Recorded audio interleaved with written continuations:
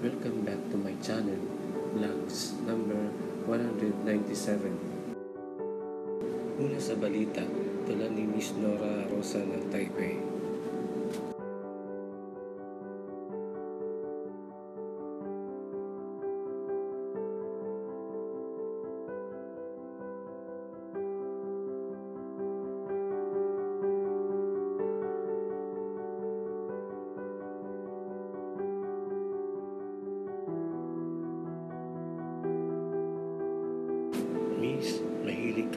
Chismis. Sabi mo sa akin, siya ay nabuntis.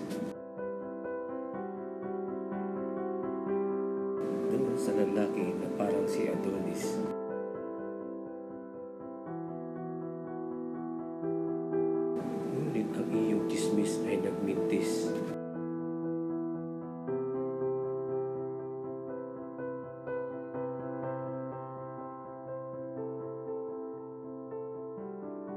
Hey, maganda ka sana kung hindi ka chismosa. Ipinagkakalat mo pati ang baho ng iba. Ngunit mag-ingat ka sa pagkakalat ng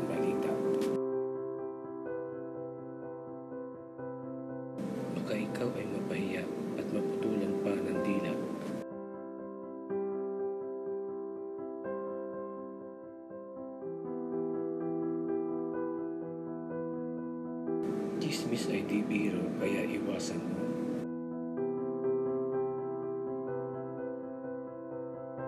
Ito ang sisira sa sarili mong pagkatao. Tahimik mo buhay ay tiyak na gugulo.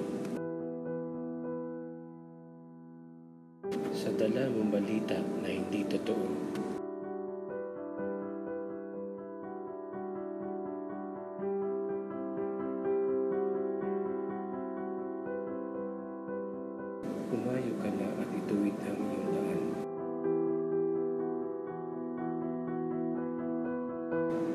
Upang di masangkot sa kaguluhan.